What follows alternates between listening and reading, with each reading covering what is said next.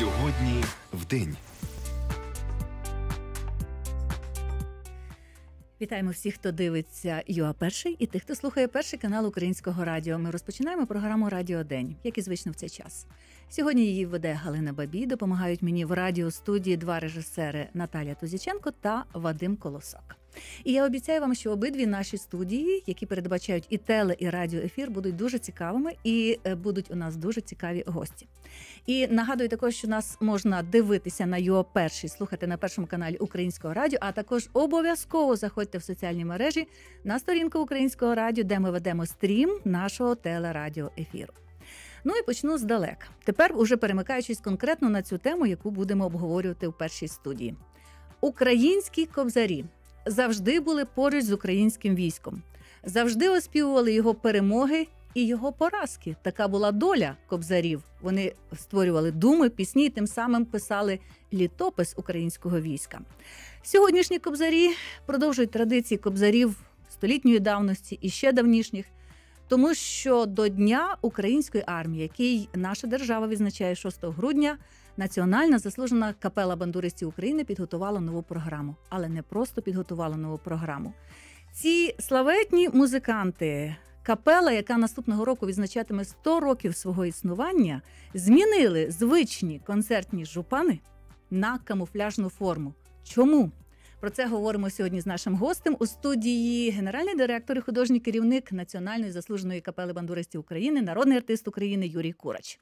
Доброго дня, пане Юрій. Доброго дня. Ви прекрасно дивитеся в цьому одязі.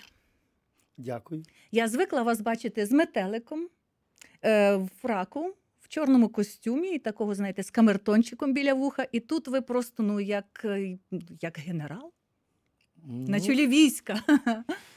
Військо серйозне, 70 бандуристів молодих.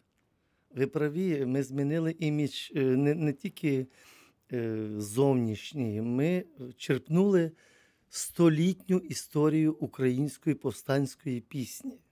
Сторіччя, це яке за наказом президента ми сьогодні відзначаємо, це 100 років Української революції. Так, І А 75 наступно? років УПА.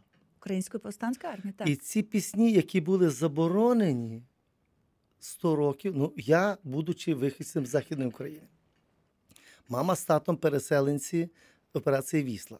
Ці пісні я пам'ятаю, як вони співали, закриючи штори і під подушкою, там під Війським замком, ой, на горі на Маківці, марширують добровольці. А ви малі то все вчили. Ну, як ми слухали, ми ж не знали, і- казала мама, тихо, то не можна нікому, то тато, то ж їх там так діду вчив, що твій діду там.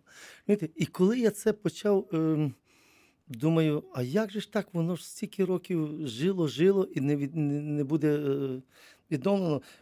Ми взялися, а матеріалу що нема, шукаємо по усюдах. А для чого пам'ять? Ні, ну то, що я знав, то я знав. Угу. Але там є пісні, яких я не знав. Знаєте, і от е, Західна Україна, Канада, Америка, збірники передавали. Сам, слава Богу, що е, мелодика. Я до чого хочу сказати цю от тему, що ви за, за, зачепили. Кобзарі і що, військо, так? Кобзарі і військо. Кобзарі, як і той самий е, козак Мамай? Мамай, який сів під дубом, рушницю поставив, взяв торбан, бо Торбан. тоді не було бандури, і Торбан заспівав. різновид е, Поча- старосвітської бандури. Так, це є, як, як то кажуть, перший. І співав. І от вони співали про що?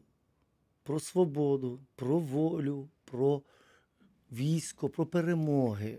І в чому я хочу сказати, що пісні ці писалися в полі, в окопах. Так я ж про що кажу? Це ж просто збралося з Так. історії, з І не було з реального життя. професійних, професійних оспівувалось. музикантів.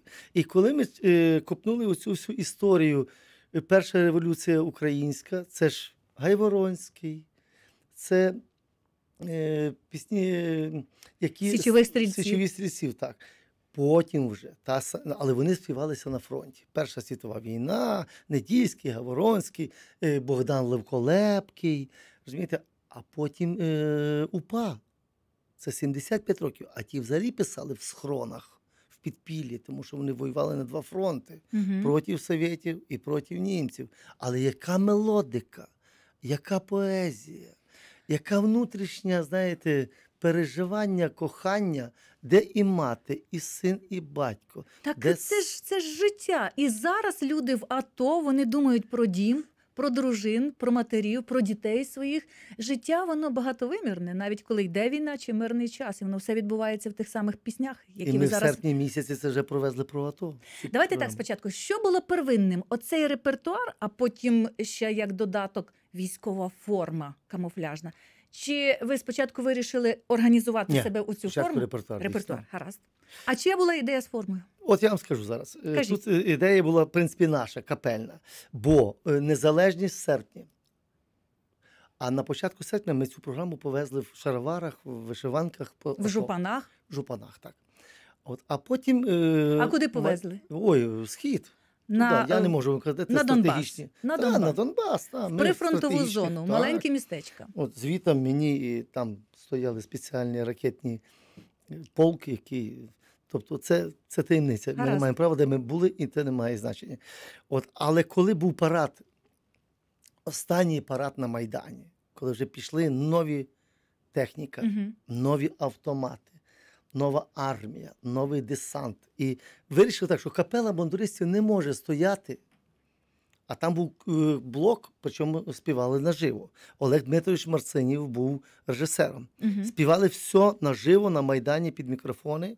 І ми відрізнялися, тому що шаровари, чоботи з Ну, традиційний концертний І одяг вийшла така- і ми сказали міністру оборони: давайте, давайте, одягнемо капелу, щоб не були відрізнялися. Вони кажуть, ми вам не можемо пошити форму як військові ансамблі, бо там вона дійсно вона стилізована. Ми вас вдягнемо як вояків. А в Ну- мене 65 людей. І коли ми стали, і ця махіна на Майдані оцих от стала в берцах, все як має бути, це було фантастично. Ви знаєте, я давно проводжу паралелі між військом запорозьким і капелою бандуристів, оскільки капела брала участь у великому концертному проєкті Українського радіо мистецької історії в будинку звукозапису. І я на собі, як ведуча на сцені, відчула, наскільки це потужна сила, коли ці 46 бандуристів, красенів, 56. П'я- 56, я перепрошую.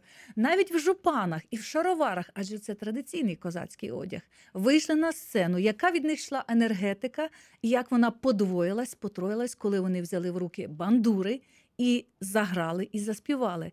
А тепер оцей от е, військовий шарм, я не знаю, чи можна казати військовий шарм, військова потуга якась додалася у цій формі. І як Я би сказав, драйв. Знаєте, я вас Драйв. переб'ю, знаєте, в якому плані? Ми цю форму ховаємо на всіх гастролях. Чому? Тобто, я вам поясню, ми заходимо в зал, репетиція в цивільному, і потім всі артисти ховають, вони ж в тих всіх строях. Всі ховаються по всіх, щоб не дай Бог. І ми виходимо тільки на закритий завісі. І коли завіса відкривається, і бачу тих 65 артистів з бандурами. Це шок для публіки. це такі, це такий шок. Ніхто не чекає, Ні. що Всі чекають шаровари. І коли ми починаємо перший номер Дігтярьова з нами Бог, тобто козаки що робили? Іти в бій, помолитися. І в нас перший номер з нами Бог. Якщо ми були на Західній Україні, тут там питання не стоїть. Там зразу весь зал стає. Священники хрестяться, після цього номеру немає оплесків. І капела стоїть. Після того йде три акапельних твори. Там на горі на Маківці, це є січові стрільці, тиха вода, це січові стрільці, і засяло сонце золоте Нігілійського, це є січові, акапельно. І після того йдуть пісні УПА з бандурами, з е, оркестровою групою, з солістами. Це, е, це настільки, знаєте, зворушливо в плані мене як диригента. Я не можу такі речі е, пережити раз і більше ні. А от коли вони самі починають заводитися, а зал починає реагувати на ці всі, і після кожного номера дякую, слава Україні, героям слава, то треба і на Донбасі також. Так, І на так. І ми б зараз були Миколаївщина, Херсонщина, і їх треба вже тоді стримувати, тому що хлопці вони заводні. Мгм. У нас є одна пісня. Якби ми працювали лише в радіоформаті, ми б зараз без вагань відімкнули мікрофон і слухали пісню разом з аудиторією радійною. Але в нас є телевізійна трансляція. Що ми можемо придумати? Ми можемо попросити режисера Вадима Колоска вмикнути зараз цю пісню, щоб і наші телеглядачі хоча б уявили собі, з яким військовим репертуаром, маршовим, похідним працює зараз капела. Цей репертуар буде представлений 8 грудня в будинку офіцерів публіці, яка збереться на відзначення е, Дня української армії, який ще у нас як державне свято відзначається 6 грудня. Отож, пісня починає звучати.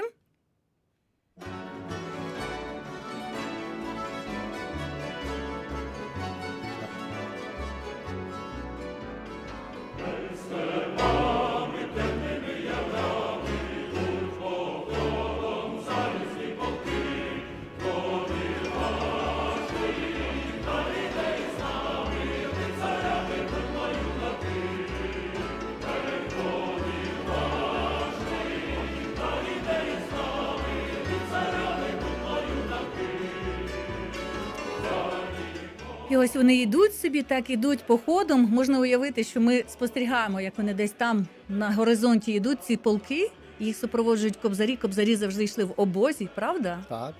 І ем, де ви вже цю програму показали? Адже це буде не перше виконання зараз в Києві. Ні, ми вже е, з серпня місяця ми вже об'їхали три поїздки гастрольних. Спочатку були в АТО, потім були на Західній Україні, потім були на Східній, і зараз ми останній раз їздили на чотири концерти на Волинь.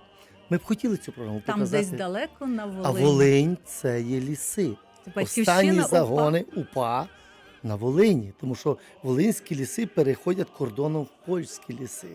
Тобто тоді я б хотів вам ще сказати таку річ, що е, ці пісні не тільки маршові, вони маршові фантастично. Але там є пісні такі ліричні.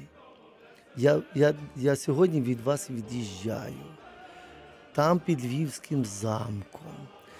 Там є м, мати просить сина, вернися. Давайте 30 секунд послухаємо.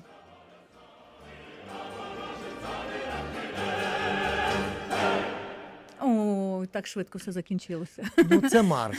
Але Я сподіваюся, що на концерті ми почуємо більше. Програма звучить півтора години нон-стопом без ніяких об'явлень. Угу. Справа в тому, що ми побудували цей, е, цю програму таким чином, щоб не, не люди не сиділи, не читали програмки, хто там що співає.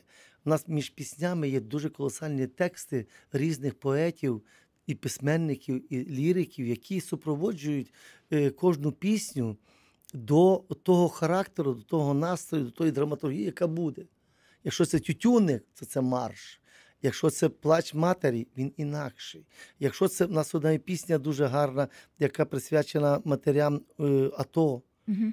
і називається Листи до матері. Вона теж буде звучати. Це нова авторська пісня, так? Так, ну вона не вона знав, її знаєте, розумієте? І звичайно, що як можна заспівати такий е, концерт без е, ой, у лузі червона калина, чи там наливайте браття. Але це я б хотів запросити всіх на цей концерт, щоб вони долучилися до того, які пісні писалися 100 років назад, і які вони сьогодні актуальні.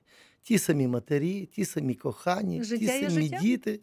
Але наскільки геніальний наш народ в мелодиці, в доброті своїй в піснях, ні в одній пісні нема заклику. Знищимо, розіб'ємо побільше крові. Навпаки, той, що прийшов до нас на нашу землю, в ній знайди собі могилу. Пане Юрію, я зараз звернуся до вашого, так би мовити, творчого бекграунду. Ви стільки 30 років працювали в чоловічій капелі Ревуцького. Так. Ви переспівали там весь духовний репертуар, який тільки можна переспівати. Так, ви не були тільки з ним духовний, і народний, і і, старовинний. і класичний, і академічний. Е, Зрештою, я знаю спроби керівників певних капелу бандуристів одягти в певний час в фраки, в метелики, тобто зробити більш академічною капелою. Так зараз ваші пошуки прийшли до цього мілітарі стилю, так би мовити. Час сам підказав, що так треба з капелою працювати. Чи все це є е, свідченням тому, що ви все ще шукаєте нових форм існування капели як сторічного колективу, який опинився в 21 столітті вже? Я вам скажу, ви знаєте, я не проти вдягнути капелу в фраки чи смокінги. Також. Інша справа. Для чого це буде? Якщо нам скажуть, заспівайте нам духовну музику, нема питань. Ми маємо масу акапельного репертуару. А тоді бандури не будуть братися до Ні, просто якщо нам скажуть, це не значить, що буде акапельна програма чисто. Ми можемо заспівати 4-5 творів Акапельних. Без бандур. Нема питань. Якщо це стосується народна пісня, будь ласка, акапельна. Розумієте, акапельний спів це вищий пілотаж хорового виконавства, особливо чоловічого хорового співу. Ну, Для мене, після 30 е, е, років е, практики, чоловічий спів це така безодня експериментів і можливостей щось знайти нове. І то, що ми одягнули форму, воно тільки попало от в цей проект. І я, дай Бог, думаю, що ми його провеземо по всій Україні. Сторіччя це не є то, що ми там вийдемо на сцену, заспіваємо ревета стогне, заповідь чи думи мої. Це без мене робили. І Міньківський, який відтворив, відтворив капелу в 46-му році, і ще не кажучи від Кабачка, від е, тих, які Гвоздь, заснував. і- І Гвоздь Микола Петрович 30 років, і, і, і Май Борода, і який написав більш, і Мико, Віктор е, Петрович Скоромний, і Микола е, Майборода, Георгій Ларіонович, який написав більше 200 обробок унікальних, ніхто кращого не написав. Але тут справа в тому, що нам цікаво завжди щось. У нас телефон дзвонить. Нічого страшного, хай дзвонить, це буде таким певним фоном нашій. Я розумію, От, буває. І воно, розумієте, воно настільки деколи думаєш, Господи, а що ти зробив? Да нічого ти не зробив. А що ти хочеш зробити? Я хочу і то, і то, і то. Як воно поєднати? Чому? Я вам поясню. Треба давати концерти, треба робити програми, треба показувати колектив по Україні. Я не, не, не відкрию велику е, е, е, завісу, що нема в Києві, де виступати. Нема Ви- концертних Ви залів. пам'ятаєте, як рік тому ви були у нас на інтерв'ю і казали, що на сході люди в прифронтовій зоні казали, де ви були 20 років. Я пам'ятаю. Це результат е, ну якоїсь такої недалекоглядної менеджерської політики, коли капела не виступала по Україні, не їздила, не особливо не пускали. їхала на схід. Я вам поясню, тому тут було таке: е, е, схід це є схід, а захід це є захід. І давайте не, їх не ділити докупи, тому що Західна Україна це є інші люди, менталітет, схід. Да нема нічого подібного. Я вам кажу, ми проїздили шість разів в АТО. Зараз сьомий раз ми були там. Та там люди такі самі українці, там розмовляють краще українською мовою, ніж в Києві. Я вам відповідаю за ці слова. Причому ми їздимо тільки по селах і тільки по районах.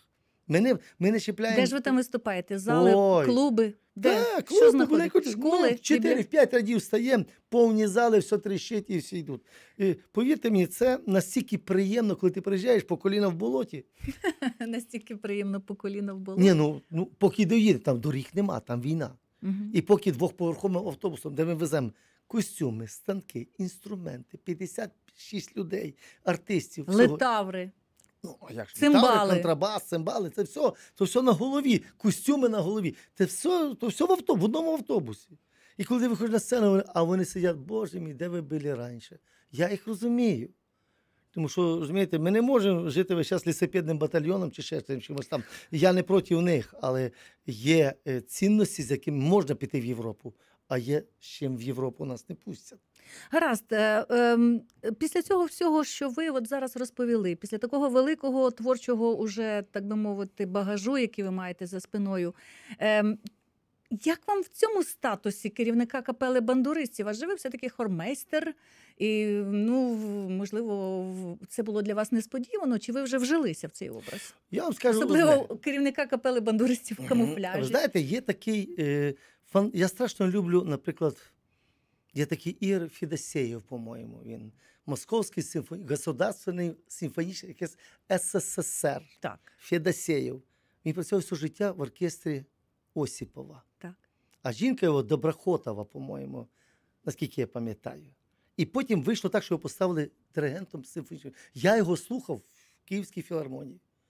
Яка різниця, що він працював з Осіпова, з тими лютнями, чи що вони там, гуслями, а зробив найкращий симфонічний оркестр СССР після Світланова.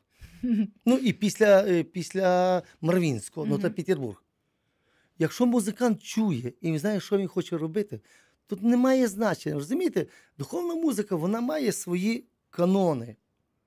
Але українська дума, історична пісня, рекрутські, солдатські, чумацькі, історичні пісні і народні пісні, яких більше 300 тисяч. Як казав колись Авдієвський, у нас 300 тисяч записано народних пісень. Той каже, я, якщо буду брати по хоча б по 20 пісень чи 30 в рік, то я за своє життя не встигну цього зробити. Це, це бездна роботи, якої цікавої. Розумієте, є партитури Міньківського Олександра Захаровича, який він, він був прекрасний хормейстер. Він не був бандуристом. Я знаю, він керував хором українського радіо певний час. Це історія і і наша. час відновив роботу капели бандуристів в 46-му році. Його бібліотека обробок хорових це кладень.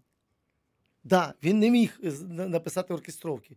Але то, що я граю, як він написав хормейстер, це можна випускати просто цілий пласт.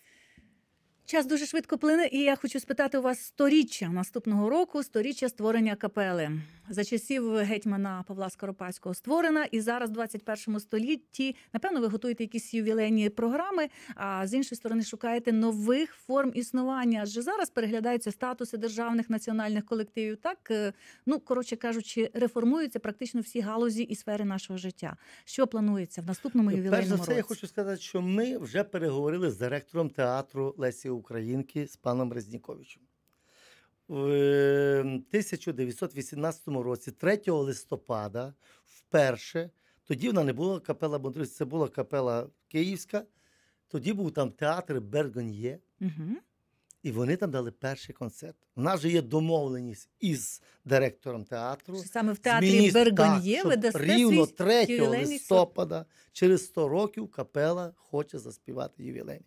Який буде ем, е, репертуар, що ще все-таки 300 днів це так багато, хоча і мало. Швидко пройде. Так, але Мене- ми думаємо, що нам е, захочеться показати ну, щось цікаве від кобзарства до сучасності, вплоть до того, що я б хотів навіть мати справу з такими, як Тарас Петрененко, з такими, як. ем, До речі, його мама, знаменита знаю, співачка Діана Діана Петрененко. Петрененко, дуже багато програм записала свого часу з капелою Так. бандуристів. з такими, як е, Олександр Тищенко, з такими, як Оксана Білозір. Тобто ми не відмовляємося від естрадного варіанту. Хоча це все музиканти, які мають хорову освіту. Я не маю на увазі Тінь Сонця, там, чи, чи Друга ріка, чи Вакарчук, хоча це теж хороші музиканти. Але от ті люди, які мають хорову освіту, вони чують хор. І знаєте, колись е, один казав, е, музикант гарний в Латвії, казав: всі, хто хочуть війни, я би їх заставив піти в хорі. Це Іман Кокарс. Я аплодую тому, хто так сказав. фраза, правда? І Тому я що кажу, це відчуття ліктя і відчуття так, гармонії. Тому що ті, що співали в хорі, це і дружба, і товариство, і, і розуміння того, як колись казав Павло наш Моравський, якщо ти заспівав в компанії, в терцію, а якщо ти голосив, в тебе є іскра Божа. Тобі вже Бог надав то, що комусь іншому. Я вважаю, що ми будемо думати над, над тим, як зробити цей вечір не просто там, знаєте, от сторіччя. Це має бути свято музики, пісні, української пісні, старовинної пісні. Це має бути свято, яке е, візьме за душу всіх від старого і малого, і середнього віку.